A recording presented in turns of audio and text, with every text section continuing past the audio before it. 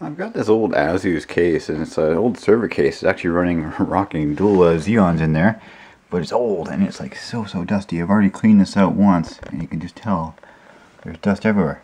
And you know those like eBay cleaners are supposed to like suck and vac and whatever, do that nonsense? Well, why the hell not just use one of these? Uh, this should not damage it. Nah, it doesn't really work anyways, so let's see how it works. The ultimate air duster. Someone needs to try this with like a gas blower. That'd be awesome. Probably start ripping out parts and stuff. So that's why this one's probably the perfect amount of power because it's not very strong. All right, let's get this out here. This weighs like 40 pounds, I think. Put my camera right on the, uh, I'll just mount it right to the, the blower here. A leaf blower. Get her going. And see what happens. Gotta remember not to let those spins go, or those fans spin up, but uh, no worries. Let's go. Come on.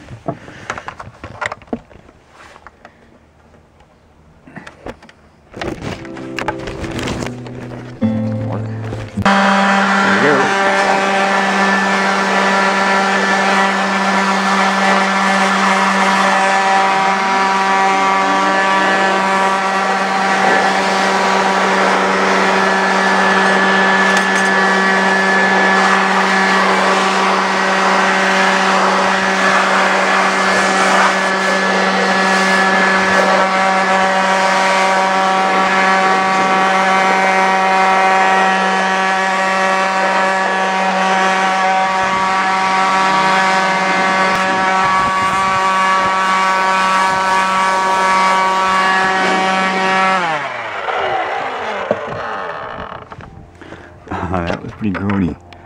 But it looks pretty much new now. Alright, that was awesome. Thanks for watching everybody.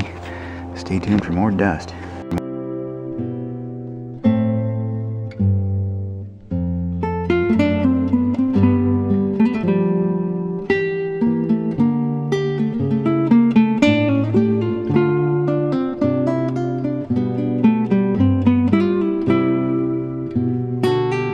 Okay, I got it back inside. That was actually way, way cleaner than if I just used like a spray can.